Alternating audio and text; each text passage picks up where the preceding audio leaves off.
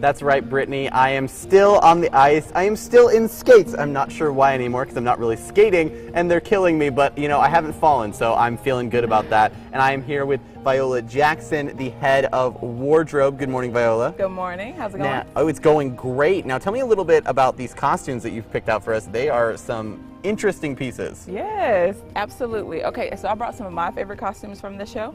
First thing I'm going to do is we're going to start out with the Arendelle Citizens absolutely love this because when the designer was um, bringing all of the pieces and ideas together, he wanted to kind of be like honest to the movie. Mm-hmm. So I think that that scene right there really it just brings everything together. So I absolutely love the idea of the fact the bold colors and um, patterns and all that stuff. So very honest to the movie. Oh, that is awesome. Yes. Which and that's a little bit subdued, and then I'm seeing this pink and yellow number here. Oh my uh, gosh. The, the, the the the sparkly one there. Tell me a little bit about that. Okay, so this is from my favorite scene in the show. This is from the In Summer segment. Um, it's really fun and young, very exciting. That's the Olaf song, right? That it surely is. Yeah. Yes, it is. It's all about the razzle dazzle. It's you have to keep everything rhinestone it's loud colors. It's amazing. That is that is amazing because you got like you got these big rhinestones. You got the small little glitter, and that's a yes. butterfly, correct? Yes, this is a butterfly. Now that is Absolutely. awesome. Now there is one that I've had my eye on. It's on the end there.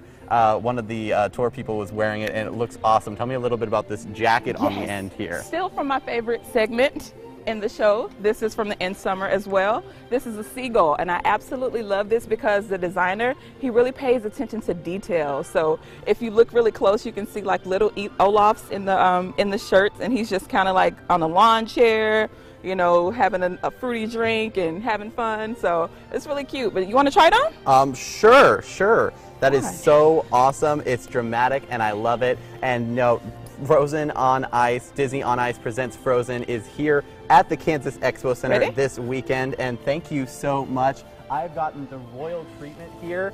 I am feeling great. I, you know, I think the skates, the costume, I really think I am ready to perform. Yeah. So thank you so much for being with us this morning. Yeah, thank you. Thank you. Now, Brittany, back to you in the studio. Uh, you're having way too much fun this morning, James. Thank you for all the details.